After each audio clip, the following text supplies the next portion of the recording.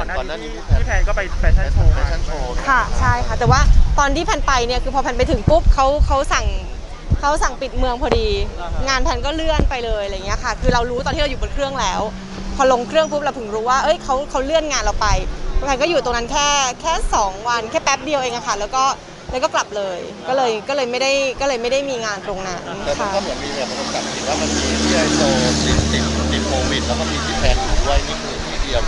หรืองานเดียวหมายถึงว่าในงานนั้นใช่ไหมคะไม่แพนไม่ได้ไปงานนั้นค่ะของของเราเป็นแฟชั่นโชว์ในในแบรนด์ในหลายประเทศรวมกันอะไรเงี้ยค่ะ ซึ่งเขาก็ได้มีการยกเลิกไปก่อนหน้านั้นแล้วถืค่ะถือว่าพอดีเราก็ไม่ได้ไปงานพอดีเลย จังหวะพอดีใช่ก็เลยเราก็ไม่ได้ไปงานพอดีเลย แพนก็เลย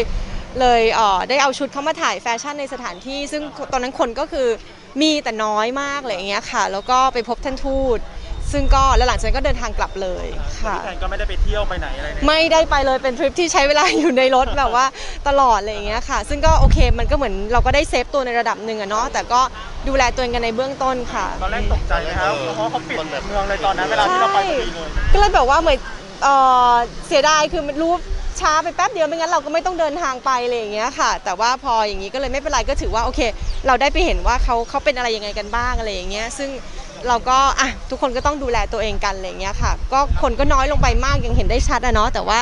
ก็ยังยังคงมีบ้างค่ะ แต่เราก็อย่างที่บอกดูแลตัวเองกันแล้วกลับมาก็รีบเนาะทำตามสิ่งที่เราควรจะต้องทำอะไรอย่างเงี้ยค่ะ แต่พี่แพนจะมีโอกาสไปตรวจไหมครับเพื่อความแบบสบายใจของตัวเราเองอะไรอย่างเงี้ยก็จริง ๆ ก็คิดอยู่เหมือนกันคิดอยู่เหมือนกันค่ะว่า ถ้าเกิดมีอะไรขึ้นมาก็คงในเบื้องต้นก็คงไปไปตรวจไว้ดีกว่าค่ะอืม อยากจะให้แบบฝากถึงแฟนๆหน่อยว่าเฮ้ยเนี่ยค่ะ ช่วงนี้มันนะเริ่มกลับมาอีกแล้วเราแบบ ใช่ค่ะ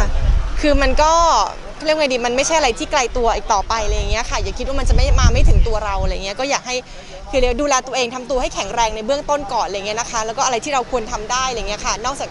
ป้องกันตัวเราเองแล้วก็คือนึกถึงคนอื่นด้วยอะไรเงี้ยนะคะ ก็เท่าที่เราทำได้ละกัน แล้วก็ถ้ามีอาการหรือมีอะไรผิดปกติ รีบตรวจเช็คดีกว่า เพื่อความเพื่อความปลอดภัยของของตัวคุณเองด้วยค่ะโอเคขอบคุณค่ะ